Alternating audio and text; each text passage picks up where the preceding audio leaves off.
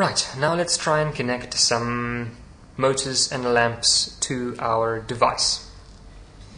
The output pins are on the front right hand side of the device um, and you can see that there is 8 pins 01, 02, 03, 04, 05, 06, 07 and 8 and all of those are grouped into M1, those two, M2, those two, M3, those two, M4, those two.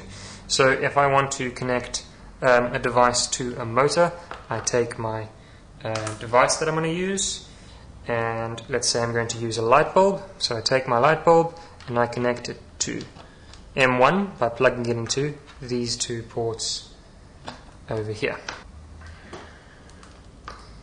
I'm just going to slot it into the side of my device.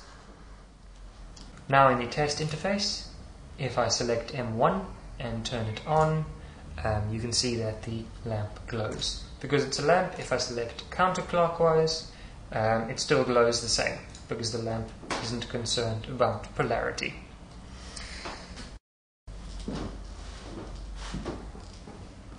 Let's connect a motor into the same port. So I'm going to unplug the lamp and I'm going to get a motor and I'm going to plug that in there like so.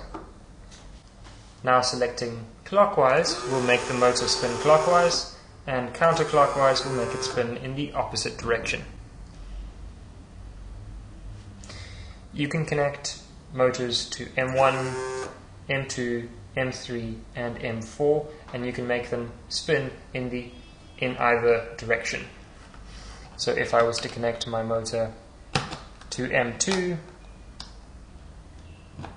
M1 would now do nothing and M2 would control that motor. Great. We can see better how the motor direction control works with one of our stations. This is the welding arm station and the motor is connected to M4. So you can see if I select CW, the motor moves in one direction and CCW, it moves in the opposite direction.